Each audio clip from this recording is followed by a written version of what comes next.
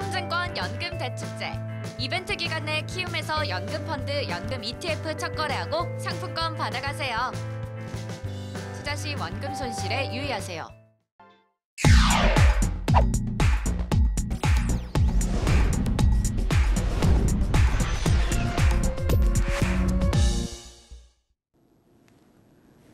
안녕하세요. 저 키움증권에서 음식료 유통업종 담당하고 있는 박상준입니다. 아, 저희가 오늘 준비한 자료는요, 그 현대백화점 기업 분석 자료고요. 최근에 이제 유통업체들이 전반적으로 좀 실적이나 주가 흐름이 좀 많이 부진한 편이었는데, 어, 지금 앞으로 이제 하반기에 업황 회복 어, 가능성을 감안한다면은 저희가 좀 눈여겨볼 종목이 아닌가 싶어서 좀 정리를 해봤고요. 어, 현대백화점은 아시다시피 이제 크게 백화점 사업을 한국에서 하고 있고 최근에 이제 어, 자, 어, 지난 한 몇 년 동안 면세점 사업을 많이 키워왔습니다. 그래서 현재 면세점은 점포를 저희가 이제 그 강남 쪽에 무역선 무역센터 쪽에 하나 갖고 있고 그다음에 이제 어, 좀 중심가의 동대문 쪽에 이제 두 개의 점포를 가지고 있고요. 어, 이렇게 해서 지금 사업을 늘려왔는데 최근에 이제 코로나 19 영향으로 어, 백화점과 면세점 업황이 모두 부진하면서 주가가 고점 대비 많이 하락한 상황입니다. 2분기 실적도 사실 부진할 것으로 좀 예상이 되는데요. 지금 코로나 19 영향에서 영향으로 인해서 백화점의 기존점 매출이 어, 전년 동기 대비 한 6% 정도 역신장할 걸로 예상이 되고 면세점은 지금 전반적으로 동대문점 오픈 영향으로 인해서 어, 전체 매출액이 증가할 것으로 예상되지만 사실 처음에 이제 시장에서 생각했던 그 예상 수요 대비는 좀 부진한 상황입니다. 그래서 면세점 법인의 손익은 좀 크게 개선되지 못한다라고 보고 있습니다. 하지만 2분기 실적과 다르게 저희가 좀 관심을 갖는 거는 앞으로 이제 벌어질 모멘텀들인데요. 지금 코로나19 영향으로 부진했던 백화점의 월별 매출액이 어, 명품, living, 가전 중심으로 이제 어, 회복세에 접어들었고 아울렛과 백화점의 출점 모멘텀이 어, 시작이 되며 면세점 업황 부진에 따른 충격도 경쟁사 대비 저희가 크지 않을 것으로 보고 있어서 지금부터는 이제 주가가 전반적으로 저점이 어, 올라갈 수 있는 구간으로 좀 생각을 합니다. 그 출점에 대해서는 사실 이제 보통 저희 유통업체들이 대규모 점포를 이렇게 많이 출점하지는 않는데 현대백화점의 경우는 올해 6월에 중부권에 어, 대전에 이제 프리미엄 아울렛을 오픈할 예정이고요.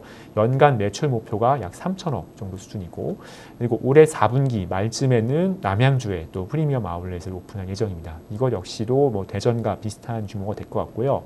마지막으로 내년 초에 그 여의도 파크원에 어, 또 추가로 백화점을 오픈할 예정입니다. 백화점은 이제 또 매출 규모가 크기 때문에 약 6천억 이상 정도 매출이 잡힐 수 있고요. 그래서 이 세 개 점포에서 추가로 1조 약 2천억 정도의 매출이 발생할 수 있기 때문에 시장에서는 이제 외형 성장에 대한 어, 기대감을 좀 가져갈 수 있다라고 좀 보고 있습니다.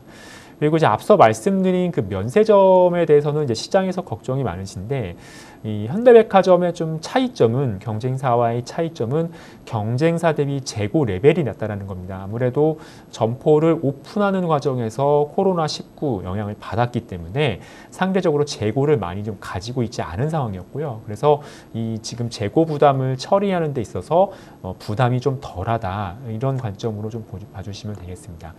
앞서 말씀드린 그 세 가지 포인트들에 대해서 몇 가지 좀 데이터를 통해서 점검을 해보면요. 지금 백화점 점포당 매출액, 이건 이제 전체 산업의 매출액인데 회복이 어, 되고 있는 흐름이고, 어, 하반기에는 이제 플러스 전환 가능성을 높여주고 있다 생각을 하고 있고요.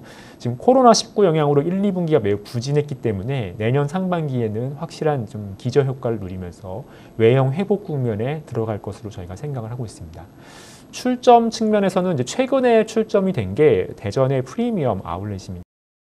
아시겠지만 이, 이쪽에는 이제 그 프리미엄 아울렛이 지금 부재한 상권이고 그리고 주변의 배후지를 봤을 때는 어, 뭐 대전뿐만 아니라 최근 이제 정부 관계기관이 많이 들어가는 세종시 그리고 청주시 등 그 인구가 이제 충분히 있는 어, 상권이고 또 구매력도 굉장히 갖춰진 그런 소비자들이 많기 때문에 이 프리미엄 아울렛 오픈에 따른 좀 어, 수혜가 어, 매출 증가가 예상이 된다라고 볼 수 있을 것 같고요. 최근에 또 코로나 19 영향으로 어, 약간 야외형 야외나 교외형 아울렛을 지금 선호하는 트렌드가 그 소비자들 사이에서 나타나고 있기 때문에 향후 향후 4분기에 오픈 예정인 남양주 어, 아울렛까지도 기- 어, 생각을 한다면은 어, 올해 좀 출전 모멘텀이 하반기부터 굉장히 강해질 거다라고 생각을 하고 있습니다. 마지막으로 면세점인데 사실 이제 면세점 업체들이 지금 실 적자가 많이 나고 있는 상황이고 실적이 많이 부진한데 현대백화점이 상대적으로 영향이 좀 적은 것은 이 동대문점 오픈을 앞두고 코로나19 영향을 많이 맞았습니다. 그래서 재고 매입이 이제 어, 막 크게 이루어지지 않은 상태에서 이제 코로나 영향을 받다 보니까 상대적으로 재고 부담이 좀 적었고요. 그리고 이를 이것 때문에 이제 어, 영업 적자가 다른 회사들은 작년보다 손익이 나빠지고 있는 상황인데 현대백화점은 좀 손익이 오히려 어, 조금은 그래도 개선되는 그런 상황입니다. 그래서 전반적으로 실적의 흐름을 본다면 올해는 이제 상반기 상반기까지 특히 이제 코로나 19 영향으로 인해서 백화점과 면세점 쪽에서 생각보다 조금 성과가 안 나오면서 시장 기대치가 내려갔다면 향후에 앞으로 하반기 이후의 흐름을 본다면은 백화점의 매- 어, 기존점도 회복이 되고 또 아울렛 백화점의 출점 어, 역시 기대되고 마지막으로 또 면세점 재고 영향도 상대적으로 적다라는 점을 감안하면 상대적으로 유통업체들 내에서는 저희는 저 가장 좀 높은 선호를 보일 수 있다라고 생각을 하고 있습니다. 어, 이처- 이처럼 저희가 이제 현대백화점에 대한 전반적인 좀 투자 포인트를 정리를 해드렸는데요. 크게 이제 세 가지를 기억을 해주시면 될 것 같습니다. 첫 번째는 업황 회복, 백화점 업황 회복. 그리고 두 번째는 아울렛과 백화점의 출점 어, 효과. 그리고 세 번째는 이제 면세점 쪽의 영향이 좀 충격이 덜하다. 그리고 최근에 이제 공항점 그 임대료 인하 협상이 있기 때문에 만약 이게 협상이 잘 되면 또 예상보다 어, 적자가 줄어들 수 있다는 것도 어, 현대백화점을 어, 투자하시는 데 있어서 어, 좋은 좀 포인트 중에 어, 하나가 될 것 같습니다.